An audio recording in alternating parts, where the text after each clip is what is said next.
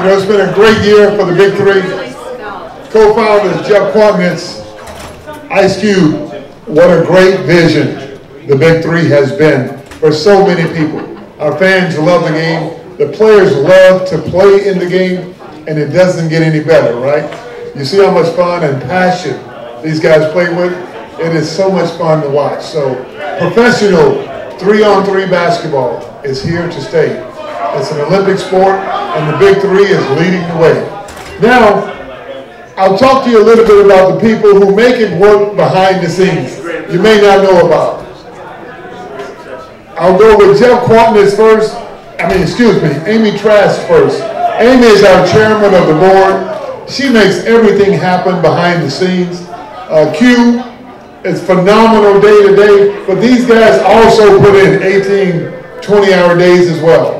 And so I think it's important to hear from them because their contributions are what make the Big Three so successful. And I'm honored and extremely grateful to work with two such esteemed individuals. Jeff, one of the greatest entertainment lawyers in the business, uh, co-founder of the Big Three, Harvard, Harvard, Northwestern, Harvard Law. Does it get any better? You talk about our executive team. It's kind of like a dream team. Amy Trask, CEO of the Oakland Raiders for how many years? A lot. 30 years. and so Mark Started when I was Geragos, Mark Geragos is not here, but our executive team is as good as any executive team in any sport. And I'll pass the mic on to these two because they don't, you may not know a lot about them, but they are what makes the Big Three so special. Thank you. I will tell you a very special moment, and then I'll turn it over to Jeff. When we discussed hiring Nancy Lieberman, I was in a room with Jeff Kwatinetz, Ice Cube, and Clyde. And at no point whatsoever was her gender raised. And you all heard me teasing and saying, wow, they're letting women in sports now. Huh, go figure. I started my career in 1982, roughly, 82, 83. And as I said, I was 12. And to sit in a room with Ice Cube, with Jeff, with Clyde, and come in. And Nancy Lieberman, Lieberman's name was floated as a head coach. Not one of those men referenced her gender. And Clyde contacted Corey Maggette and Cuttino Mobley, and her gender was never referenced. It's not an issue. This is a league where our co-founders and co-CEOs, Jeff Kwatinetz and Ice Cube, hire without regard to race, gender, ethnicity, religion, or any other individuality, which has no bearing whatsoever on whether someone can do a job. And in that regard, they are running a business the way everyone in this country should run a business. So with that, Jeff, I turn it over to you. It is my great fortune to again work with men like you and Cube and Clyde, as I did with Al Davis, who don't give a damn whether we're women, men, about our race, our, our ethnicity, our religion. They just care whether we can get a job done. It's so funny because I grew up a Raider fan. So I knew Amy before, uh, I guess it was a stalker of sorts. Um, I've, I've actually known Amy 25 years. And Ice Cube has known Amy that long, and Ice Cube and I have worked together for 23 or so years. Um, and it's been an incredible journey. Um, Clyde Drexler is the happiest guy in the world. I say it all the time because I can look at him. This is how he always is. No matter what's going on, good, bad, he's just like, man, it's all gonna be good. It's all gonna be good. And uh, I don't always think that, but he's always right. Um, so I just, you know, hearing uh, hearing Big Baby like talk from the heart, and um, you know Corey, I got to spend a lot of time talking to him, and you know when when he got injured that you know that first game, you know he didn't quit on the league. He came out. He he he, he helped us do a lot of things on the PR side, and he said, "I'm I'm gonna get better." That's not an easy injury to come back from. And he really came back. And uh, and then you know you look at guys like, like Amar'e Stoudemire, you know, who uh, I'm friends with. And uh, he dissed me year one. um, but he came, you know, and, and he was unbelievable tonight. And, you know, I know there's some NBA teams talking to him, and he, you know, he's got the fever again. And, and, and, that, it's just a great thing, because, because I love that.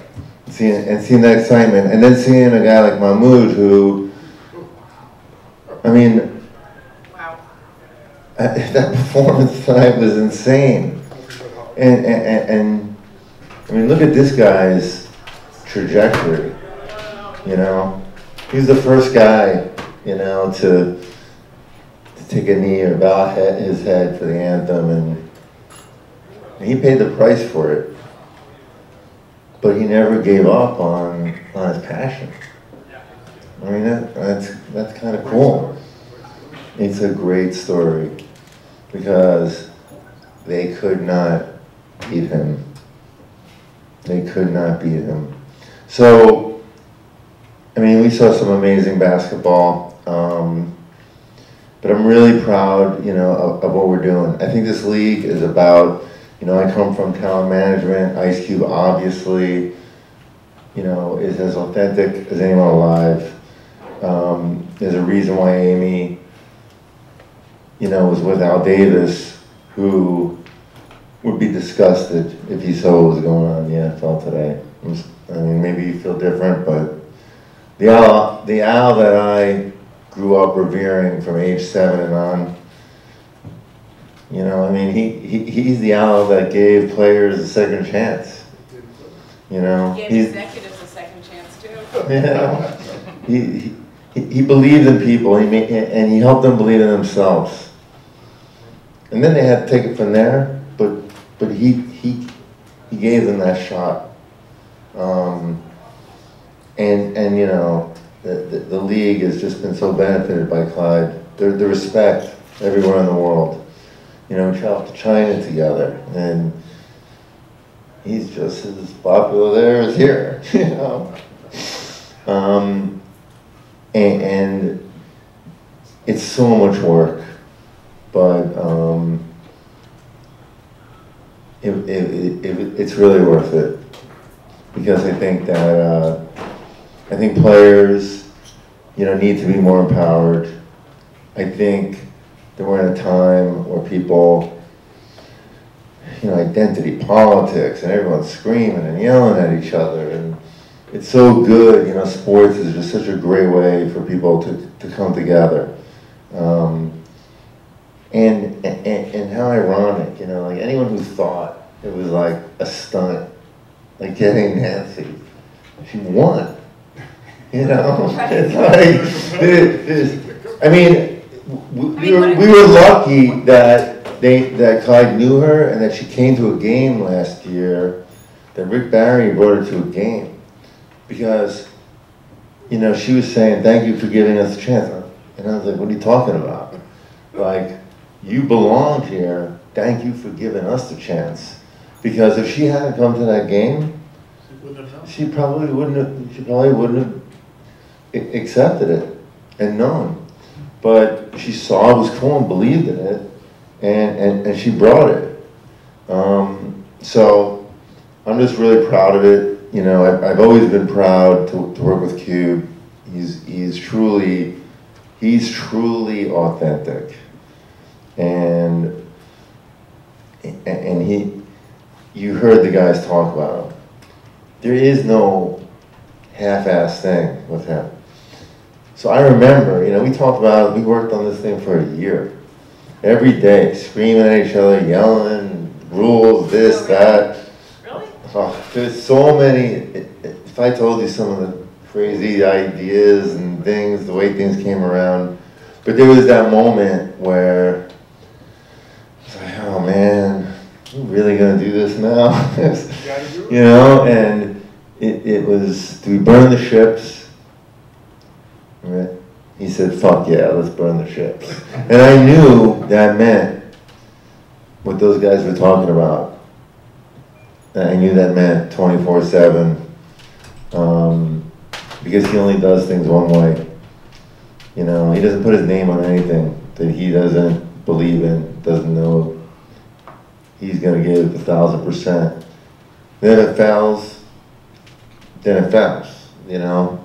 You take chances, but nothing that guy will ever do, um, will fail because he didn't give his hundred percent. And, and that's why I love him, that's why we're together so long, that's why I'm with these people. Um, it's a dream come true. That's what I wanna say. Well, I just want to add one thing. You all saw me turn the beer bottle around at one point, and I want to make it very clear, I didn't turn it around because it's a beer bottle. Earlier today, the big three rang the closing bell on NASDAQ. We are a business phenom now, and I don't think that this beer brand should get free signage. So I simply turned it around so its logo would not be facing you, because until they want to pass, mm-mm. And that would be my business background. Thank you guys all for supporting, you know, please, you know, that, we really appreciate. It. It's not all good, you know, sometimes we deserve to have our face slapped, sometimes we deserve kudos, but either way, we, we, We we deserve the attention because we work hard and the players really work hard. They really, really care. And, uh, so thank you. Thank you. Couple questions? You had a question? So there's been a lot of talk about Kobe, but I got another person on the radar that I'm, that I'm curious about, and that's Manu Ginobili. If he does actually retire from the Spurs, will you guys do everything you can to bring him in, give him a chance? Well, we're gonna do everything short of stalking Manu. He, he's a perfect big three player. He can handle it off the dribble, he's a good two-way player, and he plays with passion. That's what the big three is all about. Guys who still love the game, who can get it done, and because now it's half court, and you get a week between games. These guys can still be who they are. And so the big three is made for Manu. And we're gonna try to get his teammate, Tim Duncan, as well, as well as Kobe and anyone else that we think would, would be a great fit to help these teams win in the big three. Any more questions? Thank you all. Oh, yeah, one. You guys have so much positive momentum going, you know, this year, really just hit, really skyrocket. Like, what is next for the league? Like, what, what can people look for going forward? Outs- Outside of just marquee signings, you know, sponsorship deals gonna come in, obviously. What's next for the league? Like, what, what would be the next step going forward? What do you think? Well, let the co-founder talk about that. I mean, I think the, you know, the difference between year one and two was, you know, look, it's the most played sport in the world. I say that all the time. But when you bring professionals who have huge, you know, um, basketball IQ, whether it's coaches like Nancy, you know, or, or, or Cooper, um, or these players, the game evolves. And the game will get better because people will learn how it is a different game than five on five basketball. Um, and look, three and three is popular everywhere in the world. So, you know, we want to bring what, you know, what we do to a lot of places in the world. And, you know, we just want, we, we want to keep getting better. So, but we'll figure all that out starting Monday. Would there be? Because I'll be sleeping until then. Well, Would there we- be a video game eventually? you think? Why not? You know? We're not, we're honestly not focused on, on, on like, Give us one night. on, on the specific thing. There's, you know, the thing that makes Big Three special is, is, is player empowerment, players feeling good, the camaraderie, and the speed, the quickness. There's a, the, there's a, there's a change going on in professional sports, you know, where, you know, our audience is young. Our audience is younger than the NBA and the NFL, um, especially Major League Baseball, by a lot, you know, by a generation, you know. And you would think, how did we get a younger? I mean, I have people from the NFL ask me, you know, they cornered me on a plane, and Like, how are you getting eighteen to thirty-fours? Because we can't figure it out, you know? What are you doing? And we're not gonna tell them. Um, but, um, you know, that, that's really, the that that's really what we wanna keep doing. You know, we, we, we wanna, we wanna give a product that, or, or sport that, that, that kids and that, and next generation love. And, and listen, 70, 80 year old guys love it too. You know, women love it too. You know, but our audience is very young, it's very diverse, um, much more diverse than the other leagues. Um, we're in a lot of countries. People watch hundreds of millions of our highlights. Excuse me, Um, we're, we're broadcasting forty-seven countries around the world in addition to this one. I think that's an important fact. Yeah, people watch, you know, our, our TiVo numbers are way higher than, than, than most sports. Our repeats are watched, um, much higher. And it's because people want to see passion. You know, the example I use is like, I grew up, I loved the band The Police. But when they got back together, everyone knew they hated each other. They were just doing a cash grab.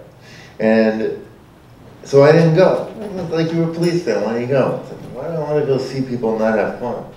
It's like why, frankly, why I gave up my Knicks tickets. I had, I had so much fun on, on the sideline. Of the, I had courtside Knicks tickets for eight years, four of them. It was a time of my life. But uh, after the Oakley thing and what they did to Melo and you know, I, I don't want to watch guys not have fun. Like that was the coolest thing about Golden State. Before they were Golden State, the dominant. Like when they first started up, they, they were like, man, you guys are having fun. And whether it's music, you know, whether it's sports, whether it's other types of entertainment, you know, what we saw today with these teams and really giving it, they're having fun. And that's what young people want to see. They want to see that people are doing things that they believe in. You know, I mean, some things people get paid well for, some things they don't. But hopefully, either way, they're doing it because they believe in it. And uh, that is the most important thing.